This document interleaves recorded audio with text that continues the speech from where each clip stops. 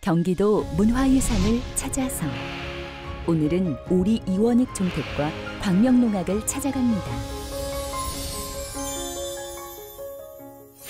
광명시의 문화유산 중 하나인 이 고택은 조선시대의 명신이자 청백리로 이름 놓던 오리 이원익의 종택입니다. 성품이 소박하고 겸손하여 관직에 물러나서도 작은 초가에서 지냈는데요. 이를 본 인조임금이 새 집과 이름을 하사하였는데 그것이 바로 관감당입니다. 또한 광명시에는 오래전부터 전승되어 내려온 경기도 무형문화재 제20호인 광명농악이 있는데요.